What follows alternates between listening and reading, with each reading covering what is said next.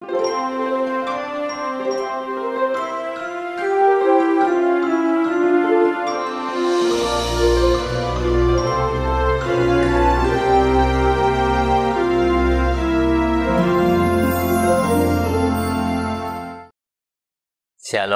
selamat malam Bapak Ibu, Saudara-saudara yang terkasih dalam Tuhan Yesus Kristus. Puji syukur bila pada hari ini kita boleh menjalani aktivitas kita sehari-hari sampai pada malam hari ini. Sebelum kita beristirahat malam, mari kita membaca dari sebagian dari firman Tuhan. Sebelumnya mari kita berdoa. Bapa yang maha baik, terima kasih ya Bapa untuk penyertaanmu hari ini, untuk berkat-berkat yang telah kami terima hari ini. Ya Bapa, sebelum kami beristirahat malam hari ini, kami rindu ya Bapa untuk mendengarkan sebagian dari firman-Mu. Kami mohon ya Bapa untuk hikmat dan pengertian-Mu, sehingga firman-Mu boleh dapat kami mengerti dan terlebih lagi boleh kami jalani dan boleh kami laksanakan dalam kehidupan kami selanjutnya. Ya Bapa, kami mohon penyertaan-Mu sehingga kami boleh membaca firman-Mu ya Bapa dengan lancar dan boleh dapat dimengerti oleh kami semua. Ya Bapa, kami mau serahkan doa ini hanya dalam bimbingan, hanya dalam penyerahan.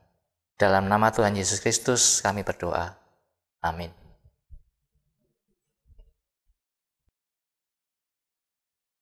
Firman Tuhan malam ini bertemakan Tuhan tetap mengasihi kita. Firman Tuhan diambil dari Esra 9 ayat 1 sampai Esra 10 ayat 44.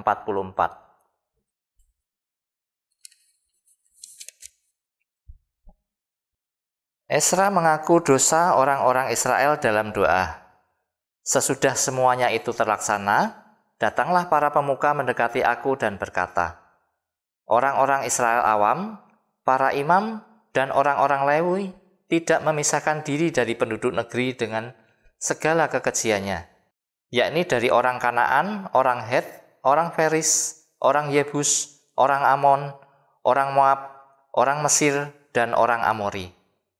Karena mereka telah mengambil istri dari antara anak perempuan orang-orang itu untuk diri sendiri dan untuk anak-anak mereka, sehingga bercampurlah benih yang kudus dengan penduduk negeri.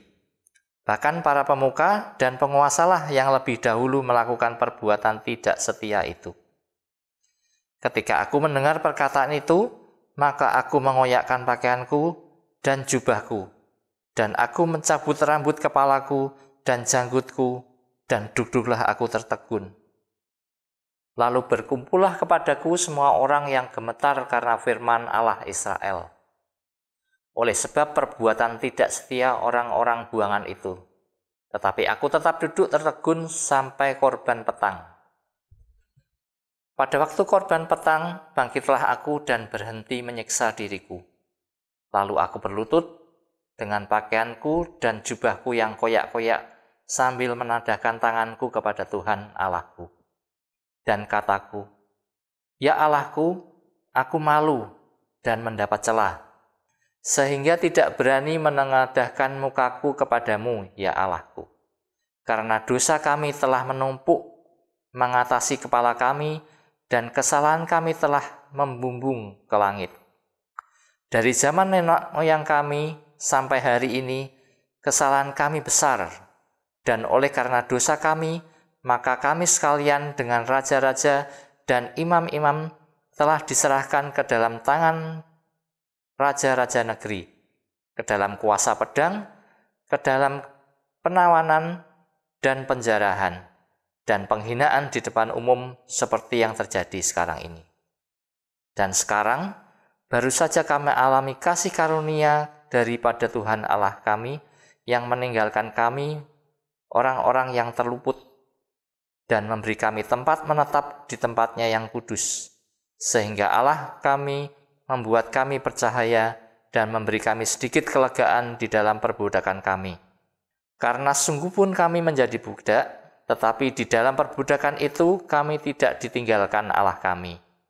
Ia membuat kami disayangi oleh raja-raja negeri Persia, sehingga kami mendapat kelegaan untuk membangun rumah Allah kami dan menegakkan kembali reruntuhannya, dan diberi tembok perlindungan di Yehuda dan di Yerusalem. Tetapi sekarang ya Allah kami, apa yang akan kami katakan sesudah semuanya ini? Karena kami telah meninggalkan perintahmu, yang kau perintahkan dengan perantaraan hamba-hambamu, para nabi itu, dengan berfirman, Negeri yang kamu masuki untuk diduduki adalah negeri yang cemar oleh karena kecemaran penduduk negeri, yakni oleh karena pekerjaan yang mereka lakukan dengan segala kenajisan mereka di segenap negeri itu dari ujung ke ujung.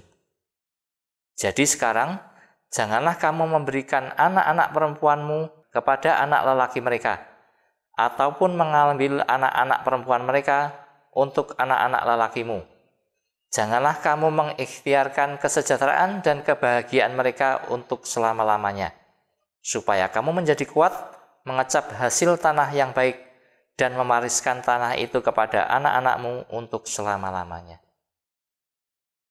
Sesudah semua yang kami alami oleh sebab perbuatan kami yang jahat dan oleh sebab kesalahan kami yang besar, sedangkan Engkau, ya Allah kami, tidak menghukum sentipal dengan dosa kami, dan masih mengaruniakan kepada kami orang-orang yang terluput sebanyak ini.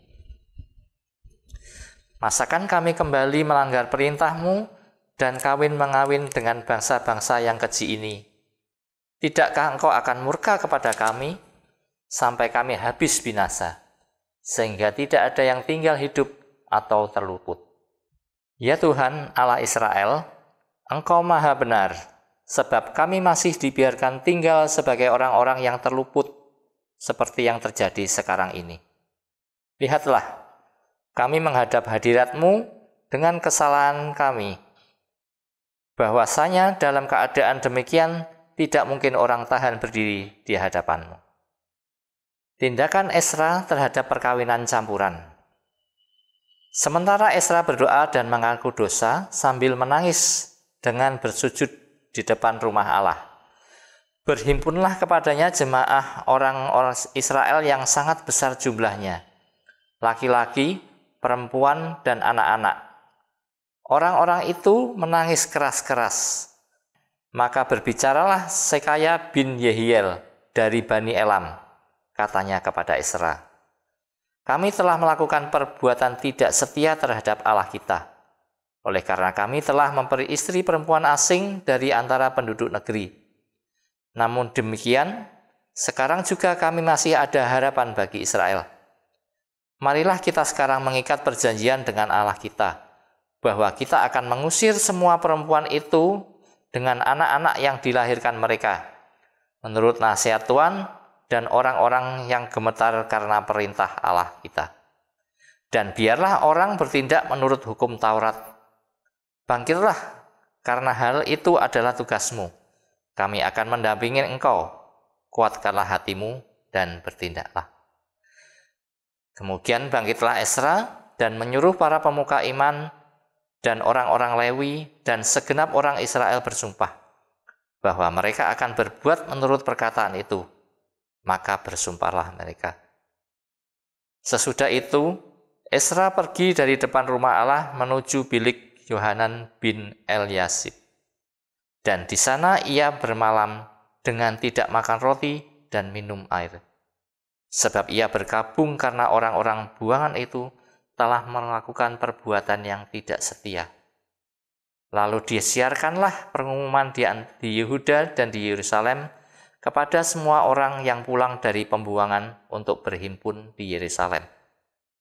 Barang siapa dalam tiga hari tidak datang, maka menurut keputusan para pemimpin dan tua segala hartanya akan disita, dan ia akan dikucilkan dari jemaah yang pulang dari pembuangan. Lalu berhimpunlah semua orang laki-laki Yehuda dan Benyamin di Yerusalem dalam tiga hari itu, yakni dalam bulan ke-9 dalam tanggal 20 bulan itu. Seluruh rakyat duduk di halaman rumah Allah sambil menggigil karena perkata itu dan karena hujan lebat. Lalu bangkitlah Imam Esra, lalu berkata kepada mereka, Kamu telah melakukan perbuatan tidak setia, karena kamu memperistri perempuan-perempuan asing dengan dengan demikian menambah kesalahan orang Israel. Tetapi sekarang, mengakulah di hadapan Tuhan Allah nenek moyangmu, dan lakukanlah apa yang berkenan kepadanya, dan pisahkanlah dirimu dari penduduk negeri dan perempuan-perempuan asing itu. Lalu seluruh jemaah menjawab dan berseru dengan suara nyaring. Sesungguhnya adalah kewajiban kami melakukan seperti katamu itu. Tetapi orang-orang ini besar jumlahnya dan sekarang musim hujan, sehingga orang tidak sanggup lagi berdiri di luar. Lagi pula pekerjaan itu bukan perkara sehari dua hari, karena dalam hal itu kami telah banyak melakukan pelanggaran. Biarlah pemimpin-pemimpin kami bertindak mewakili jemaah seluruhnya, maka setiap orang di kota-kota kami yang memperistri perempuan asing harus datang menghadap pada waktu-waktu tertentu dan bersama-sama mereka para tua-tua dan para hakim di tiap-tiap kota sampai murka Allah kami yang menyala-nyala karena perkara itu dijauhkan dari kami. Hanya Yonatan bin Asael dan Yesaya bin Tikwa berdiri menentang perkara itu, disokong oleh Mesulam dan Sebatai orang Lewi itu. Tetapi mereka yang pulang dari pembuangan melakukannya. Maka Imam Esra memilih beberapa orang kepala-kepala kaum keluarga masing-masing untuk kaum keluarganya. Semuanya dengan namanya disebut. Pada hari pertama bulan ke-10, mereka bersidang untuk menyelidiki perkara itu. Dan mereka menyelesaikan segala urusan mengenai orang yang memperistri perempuan asing itu pada hari pertama bulan pertama. Di antara kaum imam yang memperistri perempuan asing, terdapat dari Bani Yesua bin Yosadak dengan saudara-saudaranya, Meseya, Eliezer, Yarib, dan Gedilya. Dengan memegang tangan, mereka itu berjanji dan mengusir istri mereka. Dan mereka mempersembahkan seekor domba jantan dari kawanan kambing domba sebagai korban penebus salah karena kesalahan mereka dari Bari Imer, Hanani, dan Sebaja. Dari Bani Harim, Mesaya, Elia, Semaya, Yeheliel, dan Usia.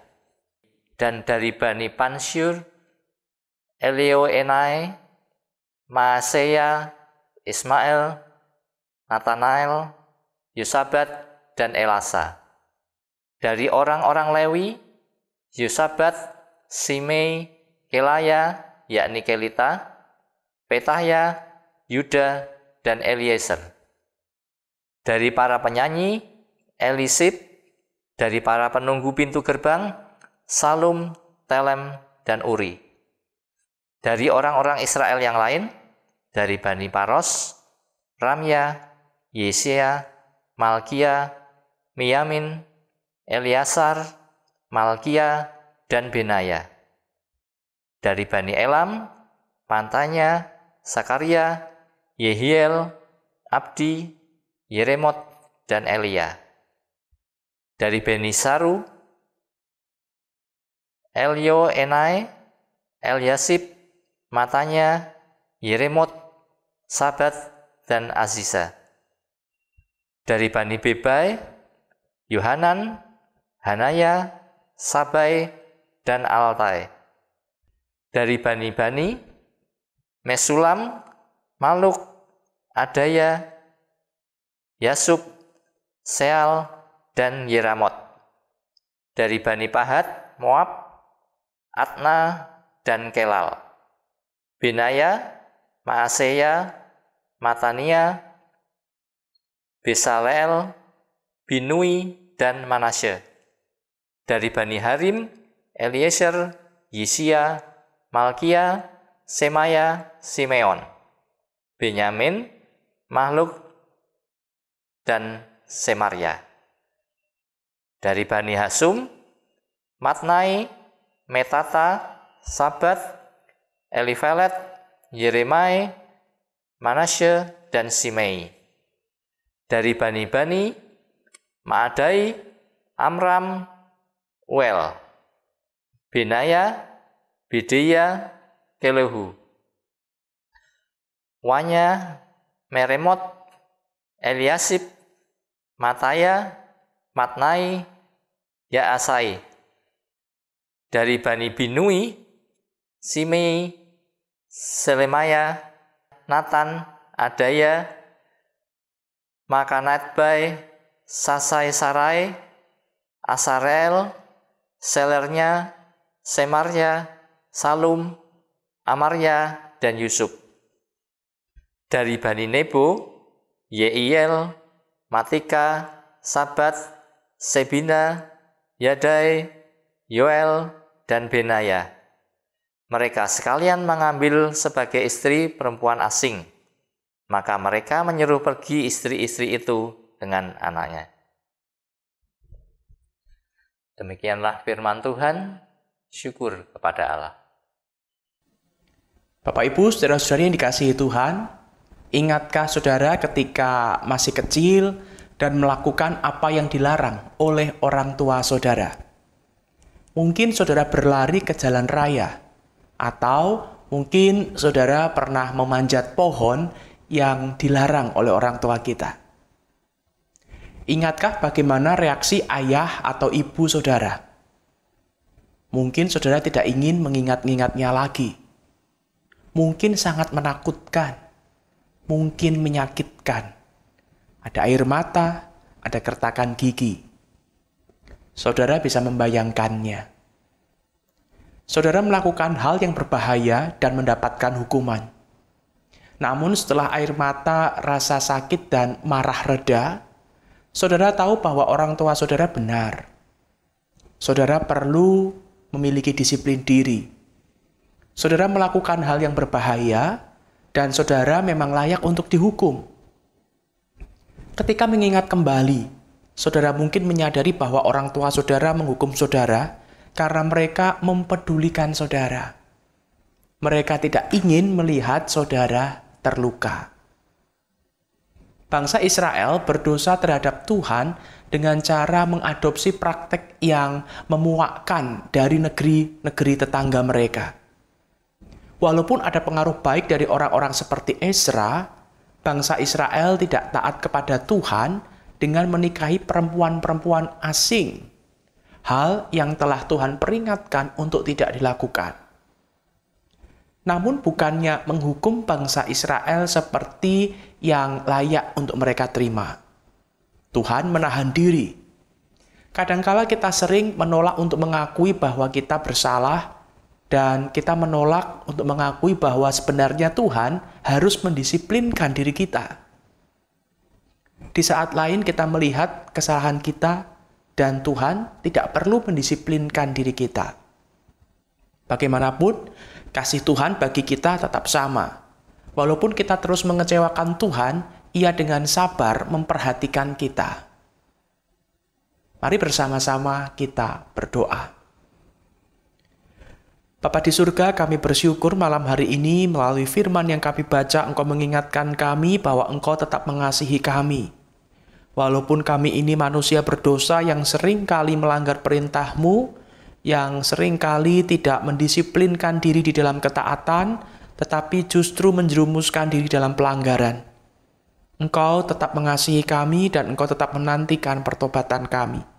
Kami bersyukur memiliki Allah yang penuh kasih dan mampukan kami untuk menghargai kasih-Mu yang begitu besar itu dengan terus berproses berusaha hidup taat menyenangkan hati Tuhan. Kami yakin dan percaya dengan pertolongan Roh Kudus, kami akan dimampukan. Di dalam nama Tuhan Yesus kami berdoa. Amin. Selamat malam, selamat beristirahat. Tuhan memberkati.